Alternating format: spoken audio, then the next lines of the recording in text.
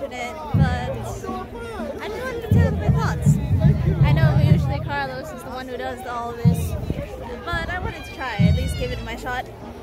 Uh, like, the perspective of, uh, like, the, uh, I wanted to give my rendition of the event from the perspective of a complete foreigner.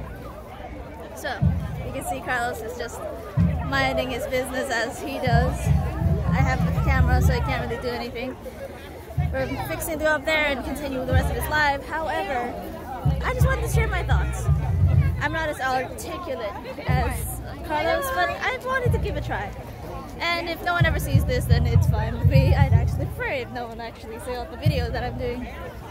So, hey, I hijacked Carlos's camera. My name is Valerie Cuevas. You've seen me on his social media. However, um, what you sound? Look at the turnout. Look at the turnout of everyone on this bridge today.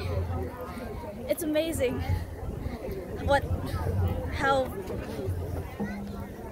how the impact of how comparatively few people can make such a big impact on an entire society.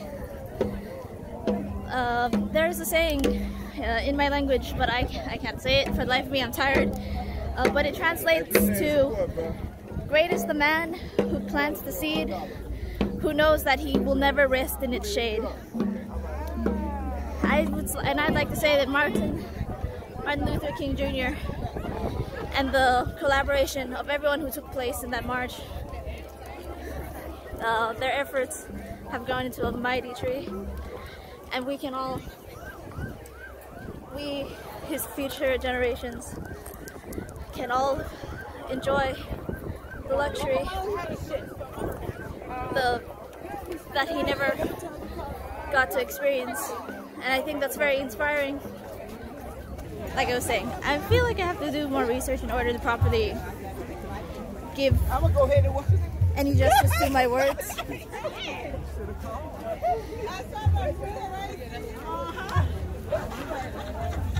like oppression is everywhere. Let's be clear. Let's get that that that down. That oppression is everywhere. However looking at all of this seeing how many people turn up like a part of me one a part of me wishes that martin martin luther uh, king jr was alive to see all of this. I wonder what he'd say